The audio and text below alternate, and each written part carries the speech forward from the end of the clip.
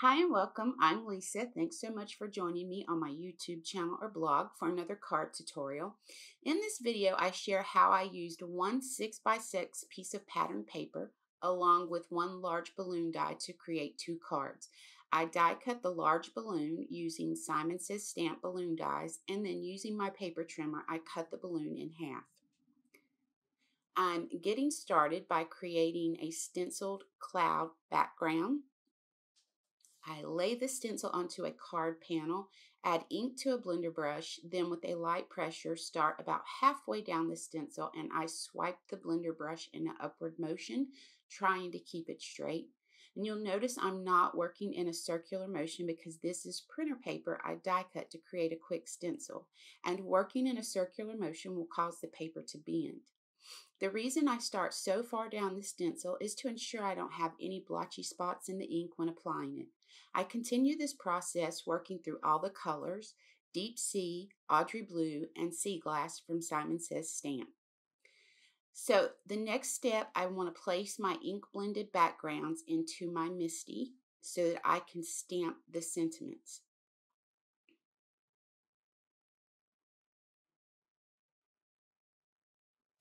I'm using the sentiment Hugs, Kisses, and Rainbow Wishes from the Honeybee Stamps Rainbow Wishes stamp set, and I'm using VersaFine Onyx Black ink to stamp it. I wanted to add a little note here that all of the products that I've used during the video will be linked below for you, and you will also be able to find them in my blog post as well.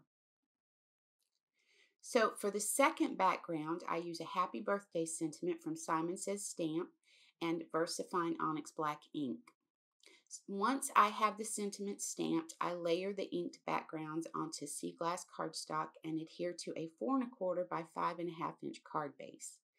So here is the half of our balloon and I'm just tying some th silver thread around each balloon.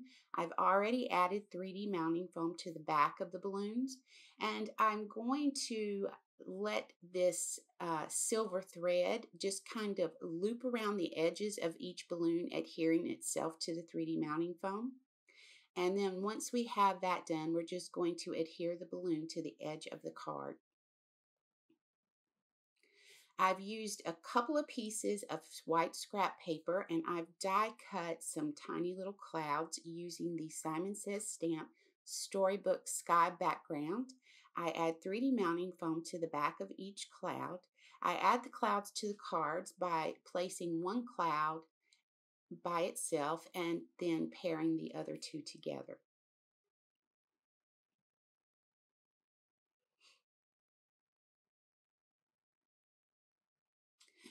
So I'm going to finish off each card with these gorgeous Honeybee Stamps Carousel Lights confetti. This is the perfect bling for any rainbow card. Look at all of those beautiful colors up there. So I'm just going to, as always, randomly place these sequins and I'm going to adhere them with some glossy accents. So I do believe that will give us a wrap for this video. I hope you enjoyed joining me today and that you'll give this a try sometime. I want to encourage you to leave any comments or suggestions below. I do hope you'll hit the subscribe button and click the bell to be notified of new content to my channel. Be sure to, to subscribe to my website to have access to my videos before they're published to the public. As always, know I appreciate you taking the time to watch this video, and until next time, my crafty friends, keep crafting.